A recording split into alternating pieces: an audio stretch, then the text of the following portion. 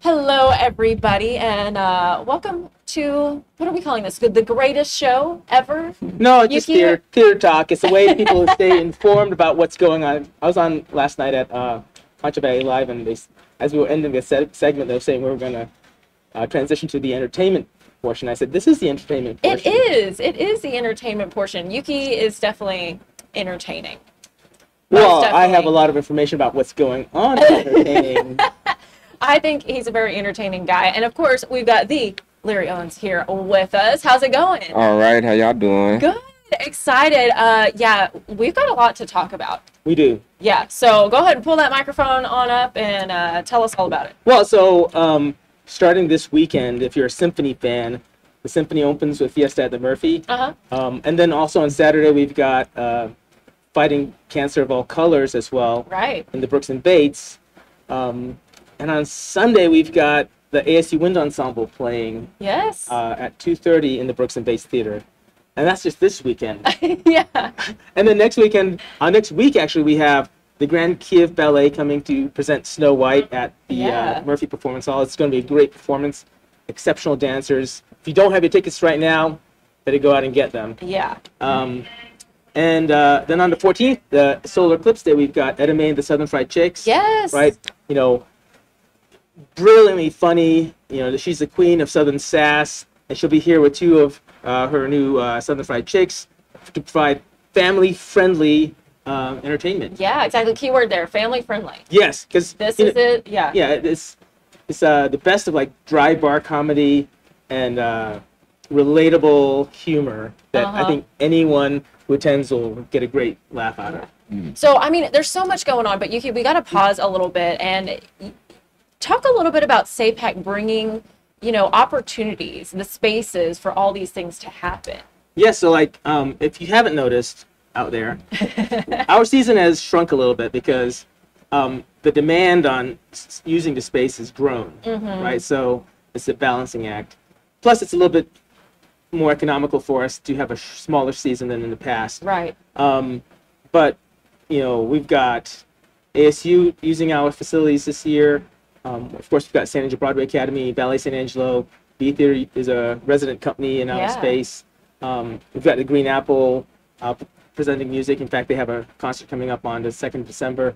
Um, so we've become really the venue of choice for a lot of organizations Good. and um, it's just expanding, which is a great thing for San Angelo and the surrounding community to have this resource available to them. Exactly. Yeah. And a lot of people may not realize that SAPAC is a nonprofit. Yes. and you know people can rent these venues but y'all are y'all are basically giving them the opportunity the space to you know really create and we we we we try to lean forward and secure funding to help ensure that we can maintain the rents at a reasonable rate. right Because I know how hard it is for um, other nonprofit performing arts groups or just nonprofit community groups to sometimes be in a space that they can put on a show. In fact, Mm-hmm. Lyrian was going to talk about the upcoming Fall Fest.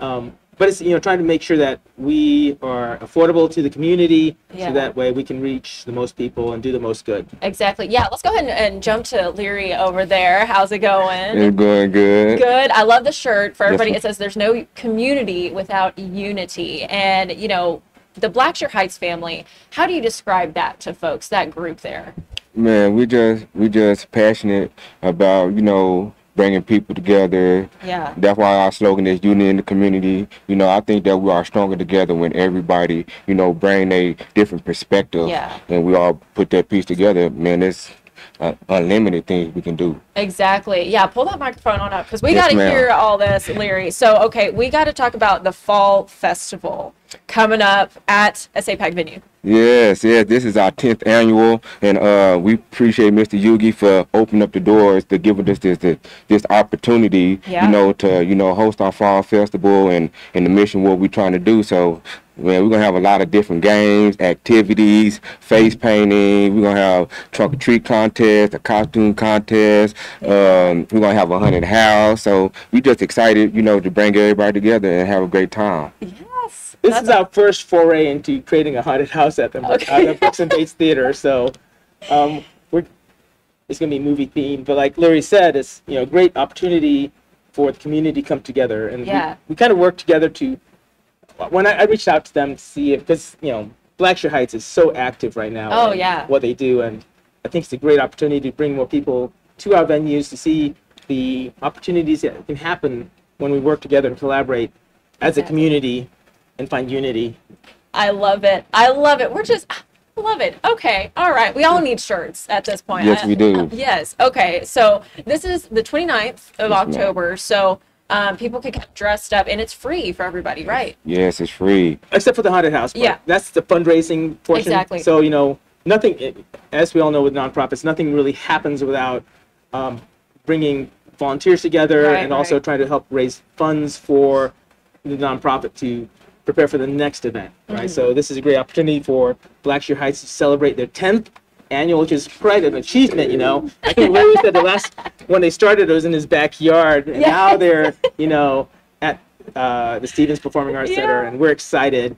He says that we'll have like three to five hundred people there, and I'm sweating because Yeah. that's a lot. You're Yeah. making them sweat, Larry. Yeah, and we got to, you know, and uh, we want to reach out to everybody. Uh, if y'all want to come and volunteer, Yes. man, we, we welcome everybody to come set up a trunk or treat, or if y'all want to come set up an activity booth, man, we welcome everybody. A great advertisement for the small local business. If y'all want to come out there and set up a trunk or treat, you know, pass out your business card, we just welcome everybody. Even the uh, the uh, uh, local nonprofit organization, we welcome everybody to come on board with us. that's fantastic. Yeah. And that week is really going to be a busy week of community because um, Uh-huh.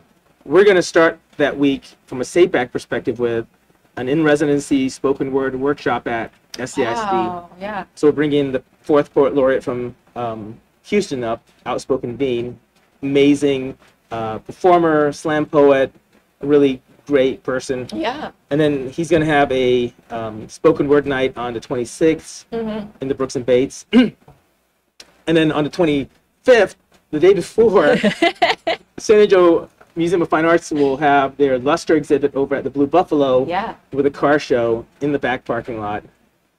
And then, uh, oh, Ballet San Angelo has um, sharing dance day on the 20th, Okay. but for um, two weeks they'll have kinetic sculptures on display in the Stevens Center, Wow. uh, made by fourth graders, I think, in the SAISD school district. Um, and then on the 27th, Mm-hmm. there's a really special performance um, with Lakeview's Mariachi Los Caciques Yes. with a pianist, and it's going to be mariachi meets Beethoven. I that you wouldn't think those two would go together. Yes. But they're going to make it happen. Yeah, and it's going to be an amazing show, and that's going to end at 7:30, and then we'll transition from that to our third annual presentation of Rocky Horror Picture Show. Yes. And so really, I mean, that day, those shows back to back, you you we always talk about this. There's so much to do here. So much. Especially in And October. just- yeah. And those are just a few events you were saying Yes, that are happening. yes. The 14th, for example, is Yeah. full, and the weekend of the 28th and 29th is already full too. Wow, that is fantastic. Okay, so of course, y'all are active uh, on every platform the website, Facebook, Instagram. What's the best way, you know, for people to really connect with you and see all these things? Um, the best way is to come buy tickets at the box office. Give us a call Yeah. at 325-284-3825 or just check out all the shows on the website. What we've done is we've added all the school performances, all Oh, wow. the um, upcoming shows like the San Angelo Chorus has a season um, starting on the 15th. Mm-hmm. Um, that's going to be another great series of shows this year. Uh, so just check us out. We try to keep everything up to date there on Discover San Angelo's uh, website, so that way people have access to the latest information about what's coming down the Yeah. pipeline. Yeah, that's fantastic. So, okay, you know, we talked a little bit about the support earlier, but you know, there's so many options. People can volunteer, they can donate, they can sponsor events. Yeah, well, yeah, sponsorship of events is uh, really important. Yeah. Um, because some of the bigger shows, like we have Stomp coming in on December 6th, um, the, there's a rising cost to presenting shows now because of the cost of transportation, gas, Right. food, lodging, and so on and so forth. So, you know, any any dollar, every dollar counts, and I think the truth it's true for every nonprofit out there is, you know, um, to be able to provide the services that the community expects, it does require support, funding, volunteerism to help make things possible. Yeah. And San Angelo's this amazing community where that happens daily. I Yeah. mean, so amazing. Yeah, that is fantastic. So, um, okay. I mean, there's just so much to talk about. We went over all of this. Um, what do you know from y'all's perspective? What is it like to see all this happening? You know, unfold before your eyes, the growth of your event, and all these people coming out and just supporting the arts and community. And it is a beautiful thing, you know, especially when we have young people coming up to you and Yeah. be like, man, Mr. Leary, we appreciate what y'all do for the community and how could we be involved? Mm. So that's my- my biggest pat on the back, you know, just, you know, kids want to, you know, learn what we're trying to do and take it to another level. Yeah, yeah, and the youth. I mean, the youth being involved. There's so many opportunities at SAPAC, and y'all do so much. You know, as far as outreach and having a, different programs and everything. I, I think you know we have a really great ecosystem of uh, performing arts, visual arts, Yeah. and even like nonprofits in this community. And I think that's really something that we San Angel can be proud of because um, there are lots of resources out there for um, young people to participate, to get involved, and to experience new things. Yeah. Right. And it's really, I think, valuable because we have so many talented young people. I mean, uh, the band programs in SAISD continue to expand. Orchestra programs expand.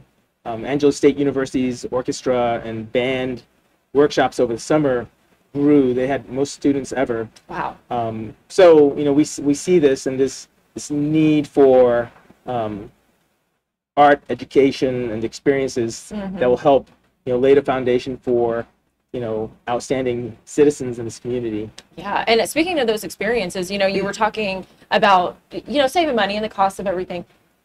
You're saving costs basically by going to SAPAC shows because you're not paying for hotels, you're not paying for food. I mean, for um, gas. You're, I mean, you can experience quality shows and entertainment here in San Angelo, And you can be home in 15 minutes. and you can be home in 15. I mean, let's be real.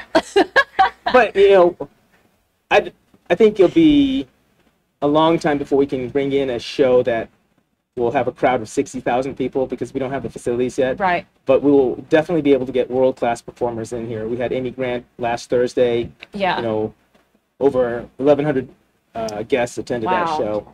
Um, so, you know, if you want to see great performances, um, Santa, we've got the facilities to do so. Right. Stomp in December will be an amazing performance um, by a Broadway level uh, company.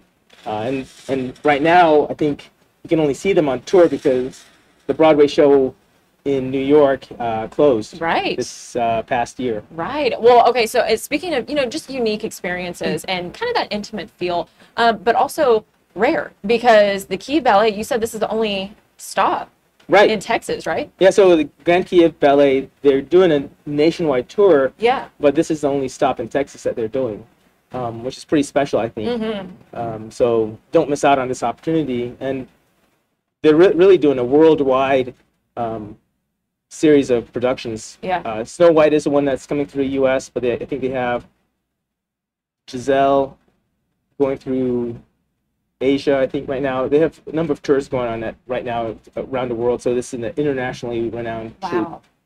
That's fantastic. And they're here in San Angelo. Yes, and and, and so like we're, we're working with them right now to um, for another program in uh, the spring. Oh, wow. Mhm. Okay. So, Okay. Don't miss out, San Angelo. Here we go. A little teaser of what's to come. I Ooh, love I'm it. I love it. Well, okay. What else do we need to know about SAPAC? I know we talked about a lot. Hmm, that's a great. Oh, you know, I knew we'd have something. well, I, well, I think SAPAC opened in October, so this is our birth month Okay. Oh, in uh, 2016. Yeah. That's when the first shows occurred at the Stevens Center, Mm-hmm. and then the following year was at the Murphy Performance Hall. But so we're now eight years old. There you go. Happy birthday to SAPAC. hey. I love that. And, but did you know that last week was pretty important for the city of San Angelo? yeah. Um, on September 30th in 1889, that's when San Angelo became the county seat Mm, for Tom Green County. mm. Look at him with the fun facts. Right. Fun facts given to me by ChatGPT Okay. And that artificial intelligence. Yeah. And um, in 1928, Charles Lindbergh came through San Angelo on September 29th. Okay. Mm. Yeah, so I know there might be some pe- people old enough to remember that, but uh, I wasn't here. I was somewhere else. Yeah. Well, uh, we're glad you're here in Angelo, by the way, Yuki. And you too, Leary, y'all are both doing so much. Um, any final thoughts or messages that you want to share with the public? Get out there. Y'all, y'all be ready. We finish. We gonna pull y'all pull up and we're gonna show out. Yeah. And you know what? One of our things we want to see happen this year. We want Miss Senora to come on out there this year. Oh, And, and we might put on a little, you know, a little dance show or something. You're Everybody not always dance on Yeah, show. I love it. yeah. I love it. Well, I got to plan out my costume though, because you got to dress up. You You gotta gotta dress up. Yeah. Yeah, I gotta, I gotta be thinking. Hmm. Okay. All right, Yuki. Any, any messages? Uh, speaking about dancing, uh, Ballet San Angelo is celebrating its 40th anniversary, and they have free dance classes on Sundays at Oh. 5. Wow. So That's October awesome. is country western, and then uh, November will be Latin. Oh. Oh, Okay. mm. So Mm. there's that too. So you know, Yeah. I'm knowledgeable in all things performing arts and visual arts in this I was about to say, if you need to know anything, just call and talk to talk to Yeah. Yuki. I there's just, of course, all of this is on their website as well. But uh, Yuki's just a wealth of knowledge. If you haven't noticed. hmm hmm all right, guys. Well, thanks again so much for joining us, and thank you all for watching. We will see you next time. Alrighty. bye.